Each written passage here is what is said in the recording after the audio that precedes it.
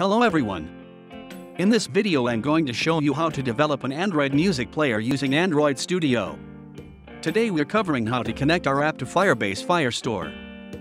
If you're not seeing the previous video of this series check out the video by clicking link in the description below. Okay. Without any further delay let's get started.